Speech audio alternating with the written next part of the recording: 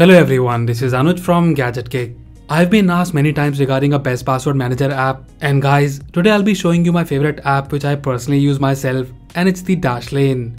Dashlane provides password manager service which safely secure your passwords.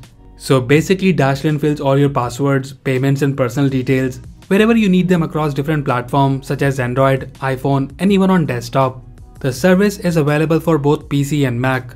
So few months back I made a video on this app showing you how it works and why I think that it's the best password manager. I know there are lots of other options available, but believe me, I have tried those as well and I find Dashlane the best. Now in terms of working, for Android and iOS devices, it's really simple to use. Just download the app from Play Store or App Store and create your account. Now for the account creation, you can sign up using the link in the description below.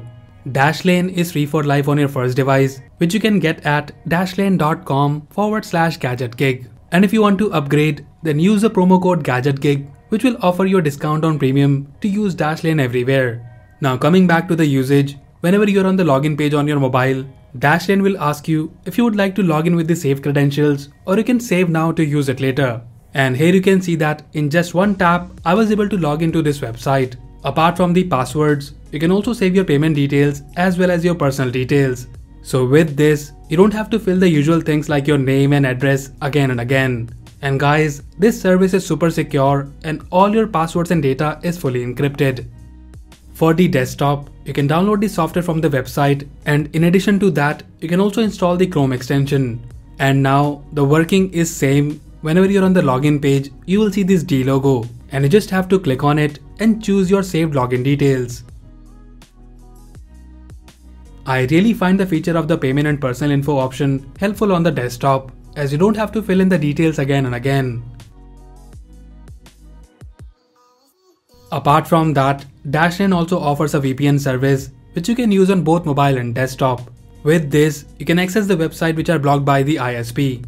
But the main reason why I like the Dashlane over the others is the security. Here I'm talking about the identity dashboard where it will show you the details of the passwords you use. From here you can see how many times you have reused your password and overall it gives you a password health score. And here on this side you will see the security alerts which shows you if any of your passwords or data is on the dark web. It's really difficult to know about your leaked info on the web but with this option you can see the details and even know the type of data which got leaked.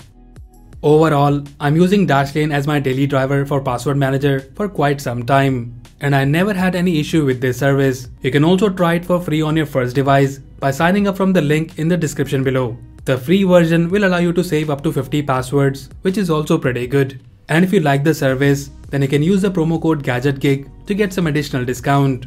So if you keep on forgetting your passwords, or if you're like me who wants things done quickly without wasting time on login and payment pages, then I highly recommend you to try out Dashlane.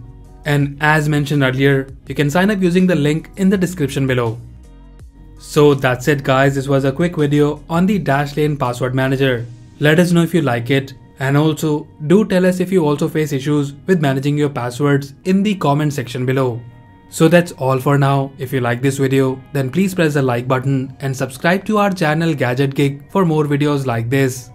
Once again, this is Anuj signing off and I'll see you in the next one.